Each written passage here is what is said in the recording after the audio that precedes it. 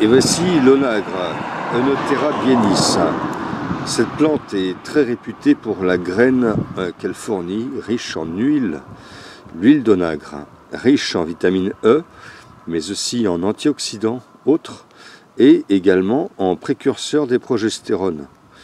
C'est une euh, huile qui sera très utile pour la femme à la ménopause notamment, mais aussi euh, pour les femmes qui souffrent de maladies hormonodépendantes en complément d'une médication classique. L'huile d'onagre, euh, également très riche en oméga 3, sera utile comme facteur anti-vieillissement, soit en usage local par voie externe, en application locale sur la peau, soit en capsules. Les capsules d'huile de nagre sont très réputées pour sa